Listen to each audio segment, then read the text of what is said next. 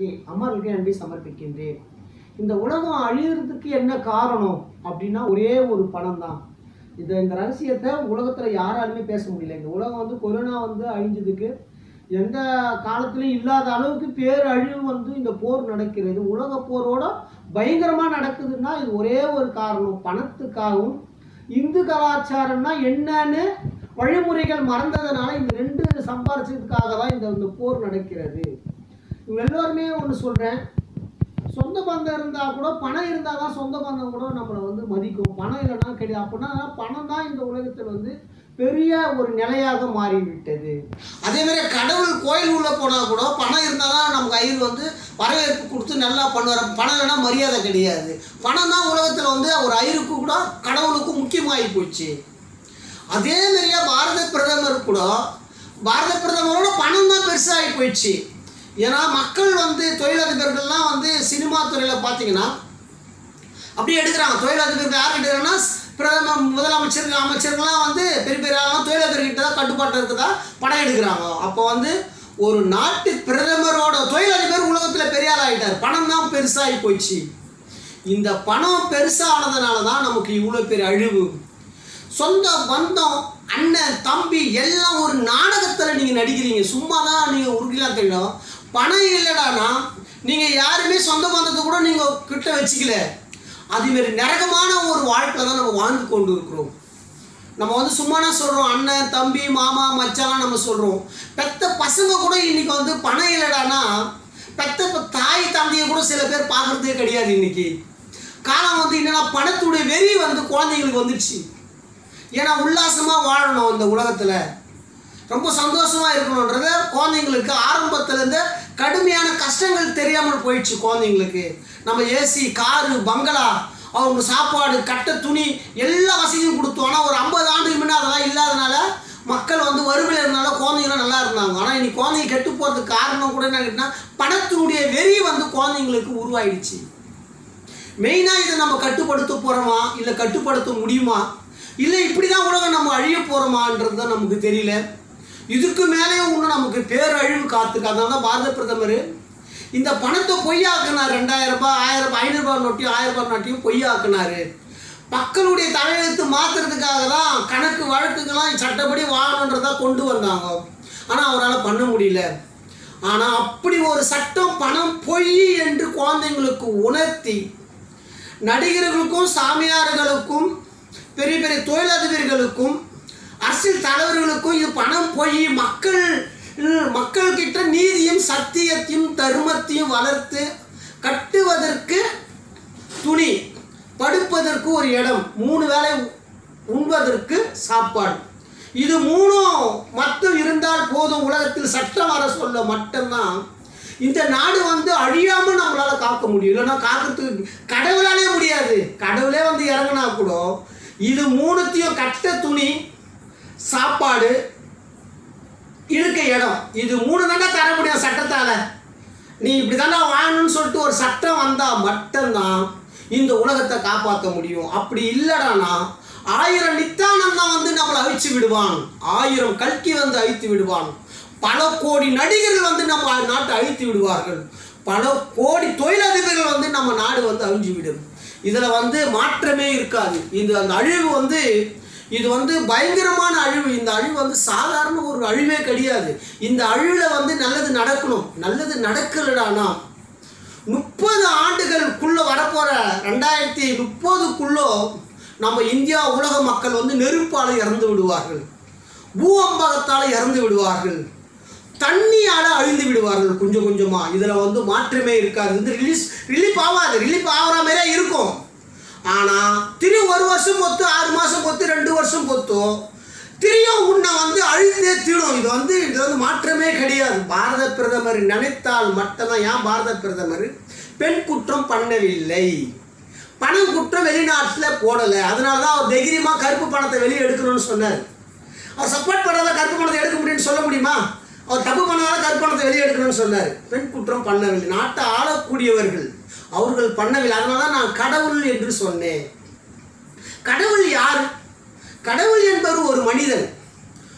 யார் ஒரு மனிதன் வந்து எந்த கடவுளை நோக்கி அவன் போகிற எந்த மதத்தை நோக்கி போகிறானோ அந்த உருவமாக கடவுள் மாறி விடுகிறான் உள்ளத்தில். அவ்வளோதான் இந்து கலாச்சாரப்படி அந்த தெய்வீக சட்டத்தை நம்ம கொண்டு வந்த போது குழந்தைங்களுக்கு உணர்த்தும் போது இந்து கலாச்சாரத்தை உணர்த்தி பணத்தை பொய் என்று பிரதமர் கொண்டு வந்தால் மட்டும்தான் இந்த உலக அழிவை நிறுத்த முடியும். பிரதமர் என்பது யாருன்னு கேட்டிங்கன்னா பஞ்சபூதத்தை ஆளக்கூடியவர்கள். தண்ணி நெருப்பு ஆகாயம் பூமி காற்று. இது அஞ்சு சக்தி அஞ்சு பூதத்தையும் ஆளக்கூடியவர்கள். பாரத பிரதமர். அதுதான் இவங்கெல்லாம் யாருன்னு கேட்டிங்கன்னா சுபட்சமாக இருந்ததுன்னு கேட்டிங்கன்னா காந்தி வாஜ்பாய் இந்திரா காந்தி ராஜீவ்காந்தி ராஜீவ் காந்தி இவங்க இருக்க சொல்ல நம்ம நாடு சுபட்சமாக இருந்தது. நம்ம பாரத பிரதமர் அஞ்சு ஆண்டுக்கு முன்னையும் நமக்கு என்னைக்குமே கொடுக்காத மகிழ்ச்சியான ஆட்சியை கொடுத்தார். விலைவாசி ஏறவில்லை தங்கம் ஏறவில்லை அதனால் மக்கள் எல்லாம் ஓட்டு போட்டாங்க. அம்மா எதுக்காக இதை பண்ணாங்கன்னு சொன்னீங்கன்னா பணம் குற்றம் பண்ணக்கூடாது. நீங்கள் யாரும் பணம் குற்றம் பண்ணால் இந்த நாடு அழிவை சந்திக்க வேண்டும் இனிமேல். பணம் ப- குற்றம் பண்ணுறதும் உரிமையே கிடையாது. அவர் என்ன சொல்கிறாருன்னா சிவ கடவுள் என்ன சொல்கிறார் கருவறை ஒரு கடவுள்.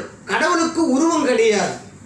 ஆனால் எல்லோருமே உலகத்தில் தோன்றப்படுவது இந்து மதப்படி கணக்கு எடுத்தால் அவன் சிவன் தான் உலகத்தில். நூற்றி முப்பது போல எத்தனை பர்சன்ட் இந்து மக்கள் இருக்கிறாங்களோ அவர்கள் சிவன் தான் எத்தனை பேர் அல்லாவா நினைக்கிறார்களோ அவர் அல்லாஹ் தான் எத்தனை பர்சன்ட் ஏசா நினைக்கிறாங்களோ ஏசு தான் ஏன் சொல்கிறேன் இந்த உயிருக்கு உருவம் கிடையாது. அவர் என்ன நினைக்கிறாரோ அதுவாக மாறிவிடலாம் இந்த உலகத்தில். யாரும் எல்லாருமே கடவுள் தான் ஆனால் இதை நித்யானந்தம் இதை வைத்து ஏமாத்துகிறார் சிவம் என்று.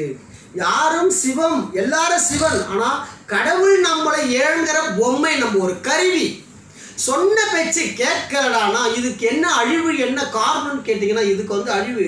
என்ன தண்டனை கேட்டிங்கன்னா இந்த நித்யானந்தம் கல்கி பகவான் இதுமாரி உலகம் அழிவதற்கு பல கோடி சம்பளம் வாங்கி மக்களை அழிப்பதற்கு காரணமாக இருப்பவர்களுக்கெல்லாம் சட்டம் கொண்டு வந்தாங்க. தேவலோக சட்டம். மகாவிஷ்ணு வந்து பன்னியாவதாரம் கொண்டு மலம் துண்ண வச்சாங்க. பைரவரை சிவபெருமான பைரவராக எடுத்து அவரை மலம் தின்ன வச்சாங்க. நாயை உருவாக்கி அடுத்த பிரிவில் நீ ஊடு ஊடா பிச்சை எடுக்கணும்டா. ஊடு ஊடா நிற்கணும்டா நீ பண்ண பாவத்துக்கெல்லாம் சொல்லி நாயை கொண்டு வந்தாங்க பைரவரா. அதே மாதிரியா நீ பன்னி அதை கொண்டு வந்தாங்க. பன்னியை கொண்டு வந்து மலம் துண்ண வச்சு ரொம்ப கேவலமான சேகலை நீ பெறல வேண்டாம். நீ செய்த பாவம் கொண்டு வந்தாங்க. ஒரு புழுவை கொண்டு வந்தாங்க மனுஷனுக்கும் க மிருகத்துக்கு என்ன சம ஒரு வித்தியாசம் கேட்டிங்கன்னா அதுக்கு ஒரு உயிர் கம்மியாக இருக்கிறது நமக்கு ஒரு உயிர் அறிவு அதிகமாக இருக்கிறது. அவ்வளோதான் ஆனால் ரெண்டும் ஒன்று தான் இதில் வந்து மாற்றமே கிடையாது.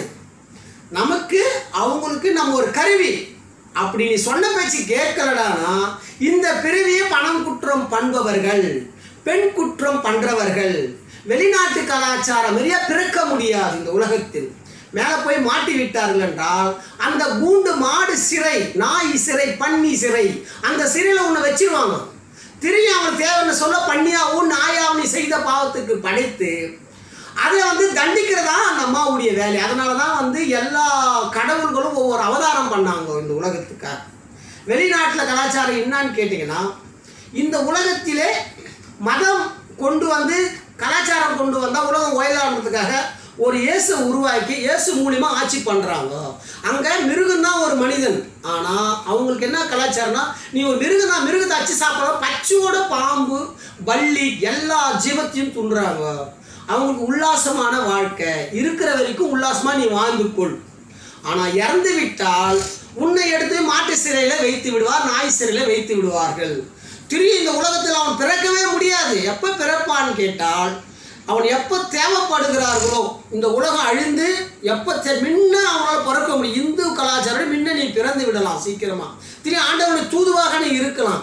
ஆண்டவனை பார்க்கலாம். ஆனால் அவர்களால் ஆண்டவனை பார்க்க முடியாது. சிறை உள்ள வைத்து விடுவார்கள். திரும்பி பிறந்து தீவிரவாதியாகவும் இல்லை ஒரு சீக்கிரமாக இறப்பதற்காக பிறந்து அழிப்பது தான் அவங்களுடைய வேலையே. அதனால அவங்க சந்தோஷமா இருப்பாங்க வல்லரசு ஆயிடுவாங்க சீக்கிரமா பணக்காரர் ஆயிடுவாங்க எல்லாமே பண்ணிடுவாங்க. பணம்லாம் இருக்கும் எல்லாமே இருக்கும். சீக்கிரமா இறந்து விடுவார்கள். நான் சொல்வது பொய் என்றால் இன்னும் சில ஆண்டுகளுக்கு பாரத பிரதமர் வெளிநாட்டுக்களை கலாச்சாரத்தைப்படி கொண்டு வந்து மக்களை காப்பாற்ற முடியவில்லை என்றால் வெளிநாடுகள் அழிவதை நீங்கள் கண்ணால் பார்ப்பீர்கள். இன்னும் கொஞ்ச நாளைக்கு. இது கன்ஃபார்மாக நடக்கும். இதில் வந்து மாற்றமே இருக்காது. இன்னைக்கு உங்களை அதான் சொல்கிறேன். இதில் வந்து மாற்றமே இருக்காது. கலாச்சாரம்னா என்னான்னு தெரிஞ்சு எந்த கலாச்சாரம்னா நீ கடவுளாக தோன்றப்படுபவன் ஆண்டவனுக்கு நீ தூதுவராக வரப்போற போகிறவன். அந்த வாக்கியத்தை உனக்கு அது ஈஸியாக யாருக்கு கிடைக்குதுன்னு சொன்னால் பிச்சை எடுப்பவர்களுக்கு ஈஸியாக கிடைக்கும்.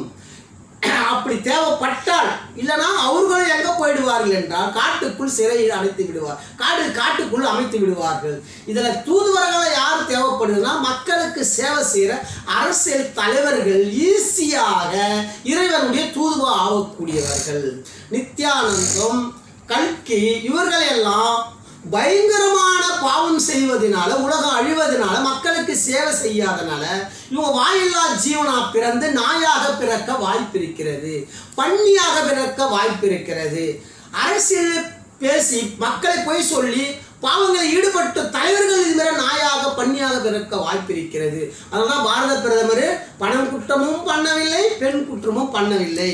நான் ஏன் கடவுள் சொன்னேன் என்று தெரிந்து கொள்ளுங்கள். நான் தான் இதில் வெல் ஜெயிப்பேன். கன்ஃபார்மாக நான் ஜெயிப்பேன்.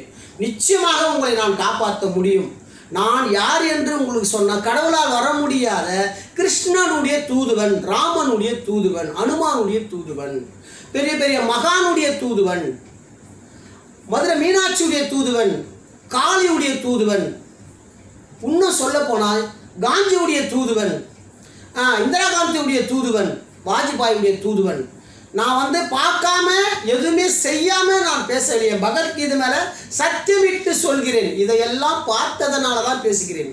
ஒரே ஒரு ஒரு போட்டா வைத்து ஜே என்ற ஒரு தாய் போட்டா வைத்து ஈசனாக இருந்தாலும் சரி நீ கடவுளாக இருந்தாலும் சரி என்னை ஜெயிப்பதற்கு உன்னால் வர முடியுமா? நீ நித்யானந்தம் கூட வாடான்னு சொல்கிறேன் என்னை ஜெயிடா பகல புயல நித்துறேன். உனக்கு தைரியங்க தானே சிவன் சொல்கிறல்ல என்னை புயல நிறுத்துறா வாடா. கல்கின்றல்ல வாடா புயல நிறுத்துறா இல்லை நான் சம்பளமாக ஏறி உடைக்கிறேன்டா உன்னால் உடைக்க முடியுமாடா இந்த வாட்டி? நான் சம்பளமாக ஏறி உடச்சி காமிக்கிறேன் இந்த வாட்டி. உங்களால் யாராவது இந்தியாவில் முடியுமா? யாராவது அது? அந்த தைரியம் எனக்கு இருக்கு. ஒரே ஒரு ஜெயலலிதா அம்மா வச்சு நான் பண்ணுண்டா. அம்மா பிறந்தது ஒரு பெண்ணுக்காக எட்டு கோடி மக்களுக்காக தான். ஆனால் பாரத தாய் எனக்கு சொன்னது என்ன தெரியுமா சொன்னாங்க? நூற்றி முப்பது கோடி இல்லை. இந்த உலகத்தையே உழலம் உருண்டை உன் காலடியிலே நின்று கொண்டிருக்கிறாய் நீ. நீ உயல அது நீ உழலுதுன்னா அது உன்னால தான்டா நீ வரலைன்னா அந்த உலகம் உருண்டை உழலாதடான்னு சொல்லியிருக்கிறாங்க கிட்ட நிச்சயமாக என்னை நம்புவர்களுக்கு நீ தண்ணிலேயே பூம்பகத்தலாலும் நீ நீ மாட்டிக்கும் போது என்னுடைய மரணத்துக்கு பின்னால் உன்னை நிச்சயமாக உன் குடும்பத்தை காப்பாற்றுவேன். உனக்கு தெய்வலோகம் கொடுப்பேன்.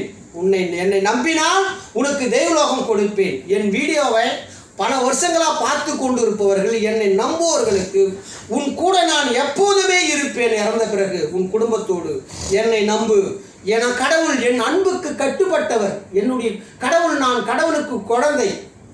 கடவுள் குழந்தை எப்படியாவது உன்னுடைய குழந்தையை அழிப்பியா? அழிக்க முடியுமா? உன்னுடைய குழந்தையை அழிக்க முடியுமா? அழிக்க மாட்டேன். அதேமாதிரி நான் கடவுளுக்கு குழந்தை. என்னை கடவுள் அழிக்க முடியாது. ஏன்னா என்னை வைத்து இந்த உலகத்தை இழங்குகிறார் பகவான். கிருஷ்ணனுக்கு நான் குழந்தை. இயேசுக்கு குழந்தை அல்லாவுக்கு குழந்தை பாரத தாய்க்கு நான் ஒரு குழந்தை. என் மேல் அன்பு கொண்டவர்கள் எல்லோருமே உங்களுக்கு மோட்சம் கொடுப்பேன். என்னை நம்பினால் உன் கதவு உன்னை தட்டி பேரின்பத்தை கொடுக்கும் ஒரு நாள். உன் துயரத்தை போக்கும். இது எல்லாம் நிச்சயமாக பகவத்கீதை சத்தியமிட்டு சொல்கிறேன் கிருஷ்ணன் மேலே உனக்கு நான் மோட்சம் கொடுக்கிறேன். என்னை நம்பாதவனுக்கு தெய்வலோகத்துக்கு வருவான். அன்று என் காலடியிலே விழுந்து கண்ணீர் விட்டு அழுவான் போராடுவான். அப்போ அவன் அவனுடைய துயரம் நீ பார்க்கும்போது உனக்கு ஆனந்தமாக இருக்கும். இது வந்து நிச்சயமாக நடக்கும். இது வந்து சத்தியம் என்றுமே தோத்தது. கடிய சரித்திரமே கிடையாது என்பதும் தெரிவிக்கிறேன். இந்த அளவுக்கு நான் வளர்ந்ததுக்கு காரணம் முழுக்க முழுக்க தமிழ்நாட்டு முதலமைச்சர் அவர்களுக்கும் என் நன்றியை தெரிவிக்கிறேன். பாரத பிரதமருக்கும் என் நன்றியை தெரிவிக்கிறேன். இந்த அளவுக்கு என்னை வளர்த்துருக்குறாங்கன்னா உங்களை காப்பாற்றுறதுக்காக தான் அரசாங்கம் என்னை வளர்த்துருக்குறாங்க. இல்லைன்னா நான் வீடியோவை இவ்வளோ இவ்வளோ தொலைக்கு நான் வீடியோ பண்ணியிருக்க முடியாது. இந்த அளவுக்கு பண்ணுறேன்னு சொன்னால் அது கவர்மெண்ட் சப்போர்ட் பண்ணுறதுனால தான் நான் பண்ண முடியுது.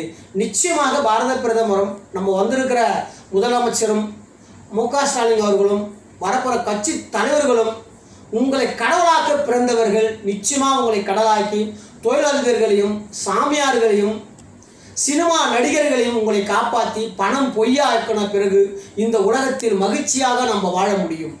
நிச்சயமாக பாரத பிரதமரால் முடியும் நம் தமிழ்நாட்டு முதலமைச்சராலையும் மு க ஸ்டாலினும் முடியும் இந்த வாய்ப்பு கொடுத்த என் பாரத தாய் ஜெயலலிதாவுக்கு என் அன்பை சமர்ப்பிக்கின்றேன்.